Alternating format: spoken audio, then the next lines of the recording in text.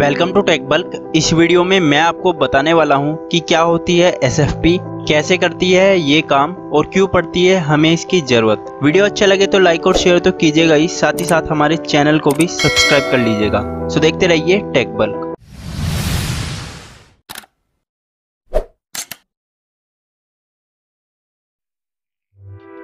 SFP का मतलब है small form factor pluggable module यह एक तरह का ट्रांसीवर है जो स्विच के SFP पोर्ट में लगता है। यह डेटा कम्युनिकेशन और टेली कम्युनिकेशन दोनों में ही काम आता है। यह गीगाबिट इथरनेट और फाइबर केबल्स पर वर्क करता है। SFP मॉड्यूल को GBIC यानी गीगाबिट इंटरफेस कन्वर्टर से रिप्लेस कर दिया गया है। SFP मॉड्यूल बहुत ही छोटे साइज़ का होता है, इसलिए इसे मिनी GBIC भी कहते हैं। SFP मॉड्यूल की हायर बैंडविथ होती है। साथ ही साथ ये लॉन्ग डिस्टेंस और शॉर्ट डिस्टेंस डेटा ट्रेवल करने के लिए डिज़ाइन किया गया है। इनकी स्पीड 1 गिग से 400 गिग तक हो सकती है और यह डिपेंड करता है SFP मॉड्यूल्स के टाइप पर। इन मॉड्यूल्स में मल्टी मोड फाइबर और सिंगल मोड फाइबर यूज़ होती है, जो कि ड्यूप्लेक्स और सिंप्लेक्स दोनों हो सकती है।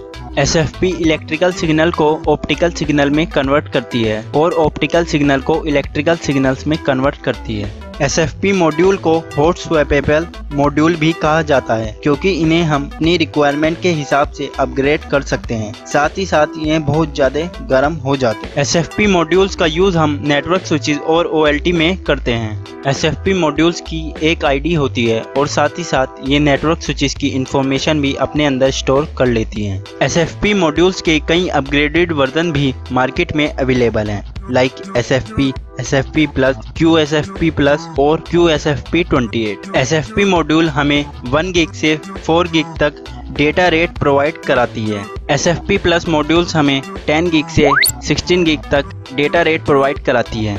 Q S F P plus modules हमें ट्वेंटी फाइव गिग से फोर्टी गिग तक डेटा रेट प्रोवाइड कराती है. Q S F P twenty eight modules हमें एट्टी गिग से हंड्रेड गिग तक डेटा रेट प्रोवाइड कराते हैं. अब बात करते हैं इनके स्टैंडर्ड्स की।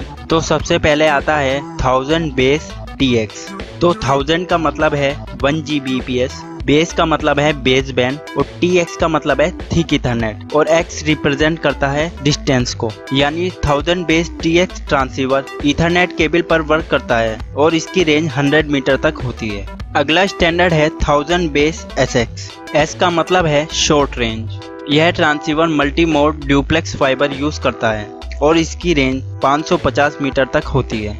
अगला स्टैंडर्ड है thousand base L X L represent करता है लॉन्ग रेंज को।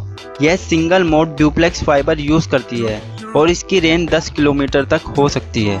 अगला स्टैंडर्ड है थाउज़ेंड बेस ई एक्स यह single mode duplex fibre use करता है और इसकी रेंज 40 किलोमीटर तक होती है। उसके बाद आता है थाउज़ेंड बेस जेड एक्स यह single mode duplex fibre use करता है और इसकी रेंज 80 किलोमीटर तक होती है। अगला स्टैंडर्ड है thousand base B I D I B I D I का मतलब है बाई डायरेक्शनल यह simplex single mode fibre use करता है।